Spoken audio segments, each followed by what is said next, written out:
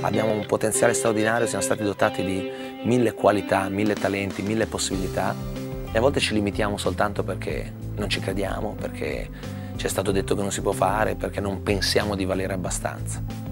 Ma credo che l'obiettivo non sia in effetti vivere a lungo, sia vivere bene, stare bene e avere delle soddisfazioni. Per cui se c'è un qualcosa che ci stimola, che ci dà l'idea di, di, poter fare un qualcosa di diverso, di poter ottenere un qualcosa di diverso, di, di, di mettere quel, quel, sale, quel pepe, quell'energia nella nostra vita che normalmente non ci sarebbe, dobbiamo giocarcela. Dobbiamo giocarcela perché veramente non hai niente da perdere, perché intanto non farlo hai già perso.